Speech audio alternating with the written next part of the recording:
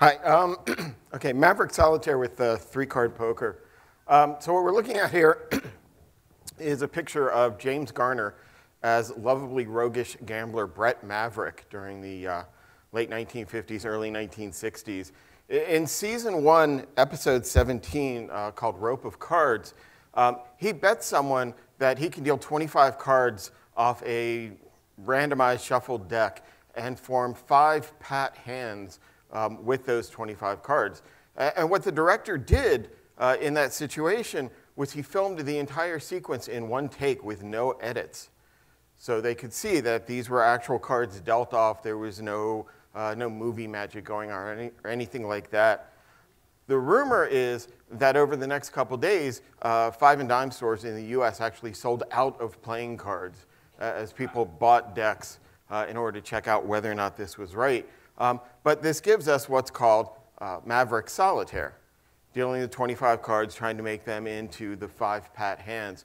Um, it's what's referred to as a prop or proposition bet, which means it seems like the odds are really against that. Uh, but in actuality, uh, computers estimate that a little over 98% of the time, you will be able to make those five hands uh, out of the 25 cards.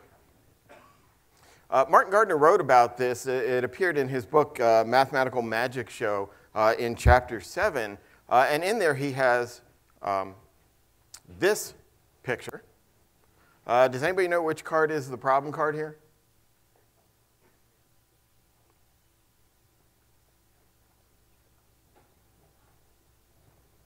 Okay, uh, time is money because I want my dollar. but it, it's the Four of Hearts. Uh, so the problem is the four of hearts isn't going to fit in any flush, any straight. Um, there are no four of a kinds in here, and since no straight, no straight flush. Um, so it won't necessarily happen. Uh, now, strolling through, uh, and I'm going to stick to that, strolling through and not sitting down. Uh, at a casino, there's a game called three-card poker. Uh, and in three-card poker, as it sounds, everybody's dealt three cards. And watching this game, um, you can't help but notice where you go, well, you know, if this guy had that guy's card, then he'd have a really good hand and he'd be making a lot of money off of that. Uh, so the question that comes up is, well, how many hands do you need in order to guarantee that everybody could have a winning hand if you could rearrange the cards at super speed? Uh, in this case, with three card poker, there's two games you can play. The one that we're interested in is the game called Pair Plus. If you have a pair, of flush, straight, three of a kind, or a straight flush with your three cards, these are the payouts. So the question becomes, how many hands do you need? How many people do you need playing? Uh, how many cards do you need to deal out so that you can guarantee you can make that many hands where every hand is at least a pair, if not better?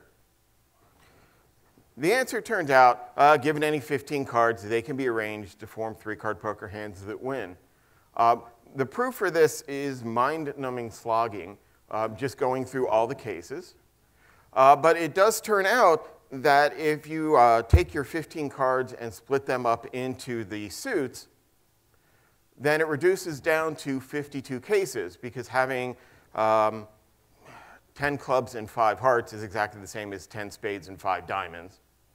So there's 52 cases uh, in which case I'm obliged to point out 52 is 13 times 4. There's my 13, there's my 4.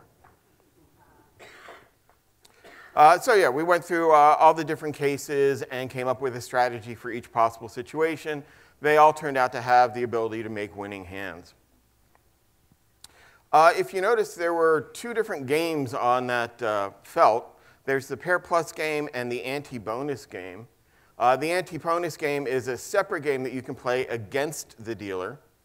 And in that game, uh, you get bonuses for a straight, uh, three of a kind, and a straight flush. What I want to point out about that is not every situation can you guarantee that you're going to have hands that will win the ante-bonus. So it's possible to have all five hands win pair plus, but it turns out you have three flushes and two pairs. So nothing wins the extra money. Uh, so one question that is beyond my ability is what percentage of the time do you actually have hands that would win in the ante-bonus play? Uh, and that I do not know. Thank you very much.